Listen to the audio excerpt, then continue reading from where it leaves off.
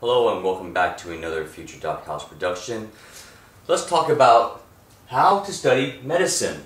I get a lot of questions uh, on my uh, channel about how I study medicine. Am I a genius? I'm not a genius. Medicine's not rocket science. You just gotta put the time into it and study it very hard. Alright, let's talk about how to study medicine the lazy, easy, and efficient way. Number one, read the book only once. If you're lazy, you don't want to read the book again. You don't want to read a thousand page pathology book again. You only want to read it once. And when I read the book, I only read it once and I take detailed notes, okay? What does detailed notes mean?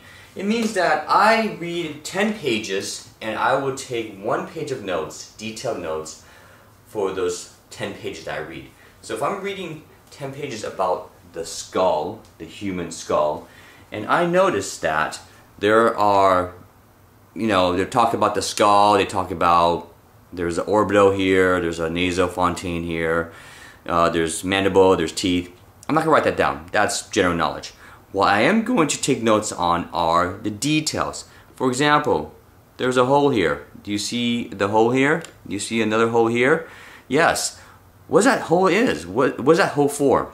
It's for the trigeminal nerve, or one branch of it. There's three branches.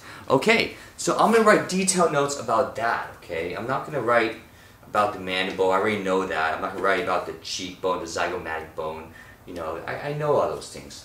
And you probably should too. So don't write general knowledge, write detailed knowledge. All right, let's talk about understanding concepts.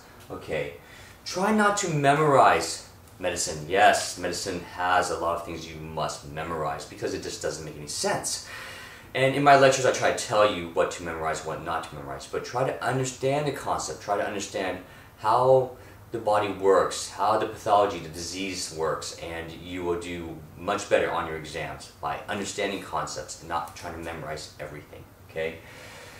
Yes, there are lecture notes. Even my videos are lectures, and my board is full of notes and you can use these videos, you can use these lecture notes, you can use these slides from your professors, but don't use them to memorize what's important. Use them as guidance on what you focus on when reading, okay?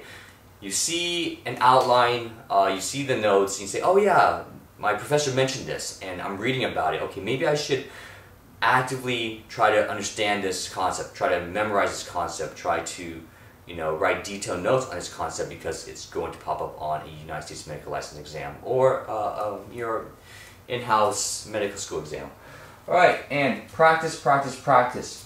Reread your notes, use flashcards, make flashcards, uh, and use practice questions. And I'm, I'm working on creating a website to supply you with all my notes, uh, with my flashcards, and with some practice questions so that it will help you succeed uh, in your future studies in medicine.